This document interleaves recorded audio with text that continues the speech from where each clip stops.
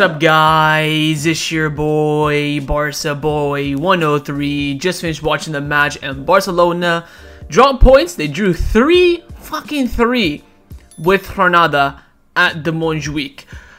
Listen, I have been watching Barcelona since 2007. I would say religiously since 2010. I have never seen a Barcelona side this bad defensively and at home in my life. I get it, it's not the Camp Nou, it's technically not our home stadium, but in our home venue this year. I've never seen anything like it. I mean, we did not defend this badly against Bayern when we lost 8-2. It is that bad. I, I season's dead, right? Like it, it died when we lost in the Super Cup. Yes, but I just don't want to suffer from now until May. Do I really have to sit here watch this shite team week in week out? I'm basically watching at this point just to watch Lamine Yamal, who is the best talent I've seen come out of La Masia. Also in my life, I wasn't there when Messi made his debut in 2006, but since then I've never seen a player of this caliber like Lamine Yamal. The the kid's a freak of nature. I mean, he is our only outlet. He's been our only impactful player and only player who's performing at a consistent basis, at a good consistent basis. I think Lamine Yamal and Gundogan are the only two players today that can leave with their head held high, and maybe Cubarsí as well. I think everyone else was wank. Absolutely wank. I think Ter Stegen... Listen, I hyped up the Ter Stegen return. I will admit it. My God, was he shit today. Holy... He made about four mistakes in the first four minutes. He made some good saves. Again, for the goals, I mean, near post, what else is new? It was a good finish from the player, to be fair, but Ter Stegen near post just doesn't come into it. Other one was just a sweat. And the third one, he got a hand to it, it hit the post, and just went in. So for the goals, I don't really expect anything else, but I think his performance today wasn't the best, uh, especially on the ball when he's making mistakes. Uh, Kounde, this is his top three worst performance I've seen uh, from him, probably the worst, alongside Sociedad at home last season when I was in the stadium and he got hooked at halftime. Again, Kounde is not really uh, uh, defending his case of his future in the summer. By the way, in terms of the summer and what we're gonna do, I honestly don't give a shit at this point. I mean, this team is so dead to me. Whatever the club do, I'm not gonna sit here and defend players. I'll give my opinion, but my god, I don't care. Uh, I think Cubarsí played well. He made a lot of good passes today. Again, for the goal um, where the slip up happened between him and Kounde. It was more so Kounde's fault than Cubarsí. Cubarsí was covering his area, but Kounde was the one that ran into him. So I think Cubarsí alongside Gundogan and is part of that good category. I think Inigo wasn't that great today either. I think his long range passing, which we like from that left foot, was not up to scratch today either. I think he did a lot of good defensive recoveries, to be fair to him, but I think it wasn't the best performance. I think Cancelo was shockingly poor as well, was bitching and whining a lot in this game. Yes, he got the good assist for the Lamine Yamal opener. Credit where it's due for that. Apart from that, he was he was wank. I mean, there's a reason why Xavi decided to take him off when we still want to go forward. He was not good whatsoever. I think even on the um, defensive transition was nowhere to be seen whatsoever. Uh, he had the poor job of marking that whole entire left flank by himself, which again comes down to Xavi, but executed to absolutely piss poor performance in my opinion. Frankie de Jong, bloody hell man, the guy just runs about, doesn't really do much. I think on the ball he's alright, but off the ball he was just absolutely shit today. Uh, Pedri, he tried and tried and tried. He looked alright in the final third, was having some good link-up play. But I don't, I don't know, man. I have high expectations for Pedri because I've seen him play at the highest level so many times, and today I think was a bit of an off day for him. I think Gundogan was absolutely brilliant. I think the link up he had with Lewandowski was superb. Was making some good passes as well. Dropped off a bit, I would say, past the 85th minute, where I'm looking at his passes thinking you're making the wrong decisions now, rushing to conclusions. But I think he kind of dropped off with the rest of the team. I think Christensen, in the pivot, had a solid first half, uh, solid half an hour. Uh, was winning the ball a lot back in the midfield. He actually won the ball back that created the. Uh, Yamal opener, but second half he dropped off a bit and then Xavi hooked him. Uh, Lamine Yamal, of course, man the match absolutely brilliant. Uh, Lewandowski, I mean, fucking hell, man. If he just scores that uh, chance in the big uh, in the uh, near the end of the first half, that's 2-0, and you never know what happens at that point, but you're in a good position. Um, I think, again, he's doing back heels and roulettes uh, in the 95th minute when we're trying to chase the game. Just stupid shit like that.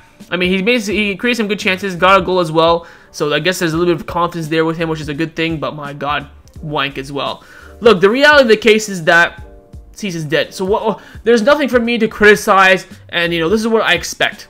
this is what I expect. I thought we'd come out here and beat a relegation contender, especially after Girona and Atletico Madrid both dropped points. We did not capitalize on that whatsoever. Yes, we narrowed down the gap with uh, getting a point, but that's not good enough. I think second place still definitely on. I think we will get second place in the end, but we're just to be riding out this season at this point. I mean, what are you to say? Out? I mean, he's already leaving at the end of the season. I think Xavi today piss poor from him. I think he picked a very, very strong team, which I was surprised about. I was expecting maybe one or two changes. He only made one. In-game management was shocking as well. So, so late on his substitutions and so spread out as well. He brought him for a minute, I think in the 70th minute, then uh, Raphinha 77th, and then Marc Guiu 87th minute. It was, it's so, like, it's like he purposely is trying to sabotage this on purpose because he's relying so much on his Gala 11 when his Gala 11 needs improvement. It's not good enough, especially when you're under the cosh trying to chase the game. Again, the main story today is the defensive performance. From whether it was Kounde, Inigo, uh, Joao Cancelo, I think defensively, especially in transition, we were nothing short but an absolute disgrace. I've seen prime Jeremy Mathieu. I've seen prime Thomas Vermaelen. I've seen prime Oh, to be fair, Valana was alright. I've seen Prime Lenglet, Prime Umtiti. I've seen Marlon play at center back. I've seen the amount of shit center backs I've seen at this club. I've never seen a worse collective unit defensive performance than tonight. I mean, everything, everything went wrong. And I think all these players are not really making a good case for themselves to stay at Barcelona. I don't know if they want to stay. I don't know if they want to go out. But again, can you blame it on Xavi? I don't know. He's picking the he picked the best back uh, back in line apart from Araujo. So what else can he really do? Um, it's just it's just you know deflating. I, I I really have nothing to add because I think everything's already been said this season. The season is dead. The players are not up to scratch. They're not performing well. Xavi's not performing uh, well as a manager as well. Uh, there's nothing for me to add whatsoever. You know what I'm actually to do? I'm to go see if, if Xavi said anything because I really am curious to see what he puts the blame on. I think, again, the referee in this game was a bit dodgy, but I think he was fair as well. Xavi says, congratulations to Granada and their coach for their approach. We were, had a very clear 2-0 opportunity, but from when we had made mistakes, we could not allow it, like giving away goals in defense. So again, he's blaming the defensive output.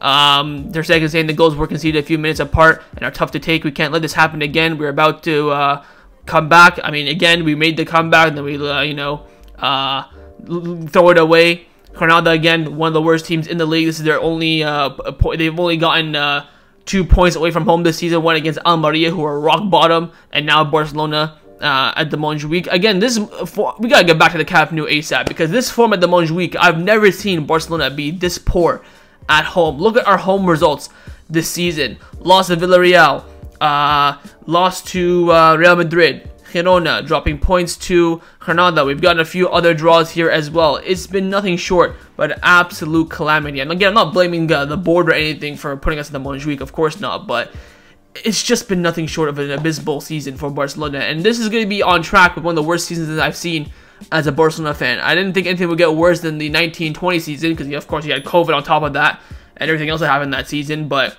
this might be worse. I mean, if we continue on like this, we don't get second place. This might be the worst season I've ever witnessed as a Barcelona fan. 13-14, we went we won the Super Cup only. We lost in the quarterfinals of the Champions League. We lost the league on the final day. Um, I wouldn't count it. I'm looking at the trophy the season because you can't really count a, a, terrible season if you've won a trophy like a Copa, La Liga, or Champions League. Like even the 20, the 21-22 season when Xavi came in, we had a little bit of hype. We won the Bernabeu 4-0. There was at least something about that season. We finished second after being ninth uh, after like 12 games in. But like this, we are on course for the worst season I've experienced as a Barcelona fan right after winning the double last season. Crazy season. Anyways, overall summary is that again the defense has cost us this game yet again. The story of our season: the sky is blue, the grass is green. We just have to go through the motions here and see what happens in the Napoli game because now the whole entire season rides on what, how we do in the Champions League. Literally reaches that point. To be fair, away from home, our record hasn't been um, the the worst. I think we've been more poor at home than we have been away this season. So maybe if we go to uh, Napoli, go to the Maradona Stadium, we get a good result, they'll bring it back to the Montjuic and survive. We might, you know, progress to the uh, quarterfinals. Napoli did lose today to AC Milan, so they're on a terrible run of form. Their striker, Victor Osimhen, just lost the AFCON final as well. So they're in a very similar situation to us. It's going to be a very, very even game, and we'll put it that way. But again, we're going to wait for the Champions League. Raya died then. We're going to try and push for second place in La Liga still because we're only, I think, five points behind uh, Girona with, you know, few games left to go. We still gotta play, of course, Bernabeu. We gotta go to Luanda. We gotta go to Montilivi. We still have to go to Mamés as well again. Don't forget that. So strap your seatbelts because these final few months of the season is gonna be hell, absolute hell. Of course, in the comments down below, leave me your thoughts on everything we discussed, your thoughts on the performance, uh, your individual player analysis, and also on the manager as well. And of course, make sure you guys subscribe down below, please. Help me make you feel better. I think we're about 15 subscribers away from 31,000 on the channel, so Please help me survive through these absolutely destroying moments and subscribe. And I'll see you guys next time on the channel. Take care and Forza Barca.